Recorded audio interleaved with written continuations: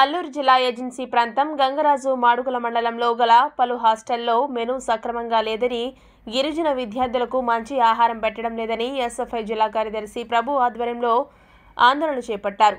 నేడు గిరిజన విద్యార్థులతో మమేకమై పాఠశాలలోని విద్యార్థులకు పెట్టిన ఆహారం కంచాల్లో పట్టుకుని అధికారులకు వ్యతిరేకంగా నినాదాలు చేశారు. స్థానిక తహసీల్దార్ కార్యాలయానికి చేరుకుని నిరసన వ్యక్తం చేశారు.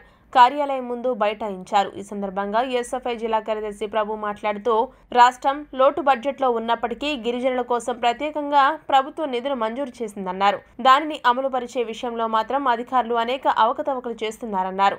దానికి నిదర్శనం ఈ రోజు హాస్టల్లో పెట్టిన భోజనమే అని అన్నారు. ఉడికి ఉడకని భోజనం రసంలా తయారు చేసిన కూరలు చూస్తే అందరికీ తెలుస్తుందన్నారు. ఎటువంటి ఆహారం పిల్లలకు పెడితే ఆరోగ్యపరంగా పలు వ్యాధుల బారిన పడి ఇబ్బందులు గురవుతారని విషయం కూడా వార్డన్ను గుర్తించకపోవడం చాలా బాధాకరంగా ఉందని తక్షణమే ఉన్నతాధికారులు ఈ సమస్యపై దృష్టి సారించి ఆహారంలో నాణ్యత లేదు అనేది కళ్ళకు కట్టినట్టుగా కనిపిస్తున్న గిరిజన విద్యార్థుల విషయంలో సక్రమంగా అమలు చేయకుండా కాలయాపన చేస్తున్న వారిపై కఠిన చర్యలు తీసుకోవాలని డిమాండ్ చేశారు. ఈ కార్యక్రమంలో ఎస్ఎఫ్ఐ నాయకులు పలు విద్యా సంఘాలు మరియు స్థానికులు తదితరులు పాల్గొన్నారు.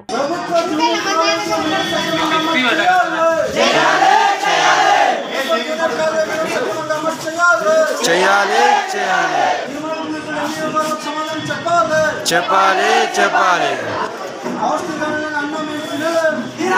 తినాలి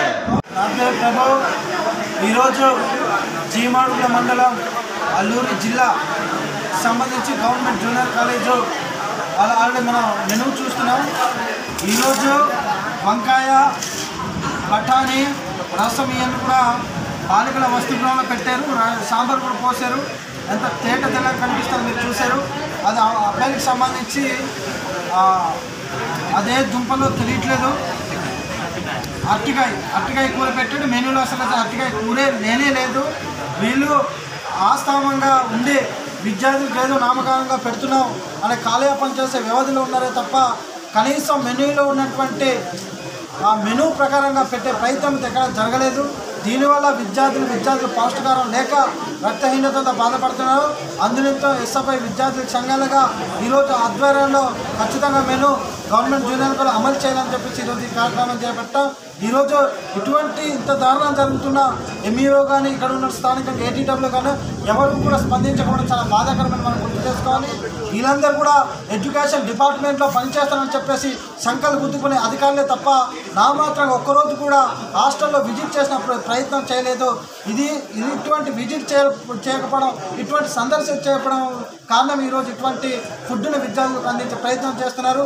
ఎస్ఎఫ్ఐ దీన్ని కళా ఖండిస్తుంది. భవిష్యత్తులో ఎన్నో ఉద్యమాలు నడుపుతాం ఖచ్చితంగా అధికారులు వచ్చి స్పష్టమైన హామీ ఇచ్చేంత వరకు విద్యార్థి ఇక్కడి నుంచి పోయేది లేదని చెప్పేసి ఎస్ఎఫ్ఐగా డిమాండ్ చేస్తా ఉన్నాం